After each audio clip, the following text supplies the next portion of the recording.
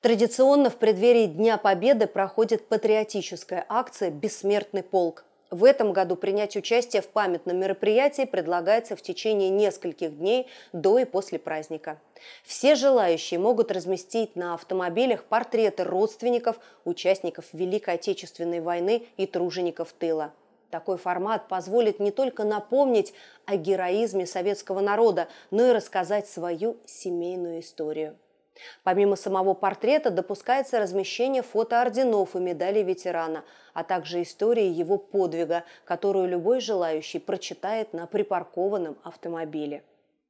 К акции могут присоединиться не только граждане, но и различные организации, которые используют в своей профессиональной деятельности транспортные средства.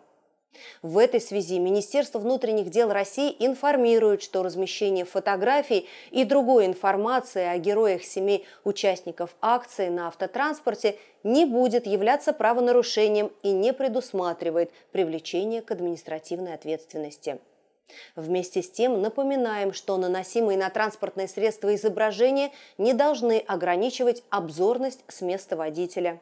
Рекомендуется размещать их на заднем и боковых задних пассажирских стеклах. Кроме того, чтобы фотографии сохранились в достойном виде, советуем крепить их на автостекла с внутренней стороны.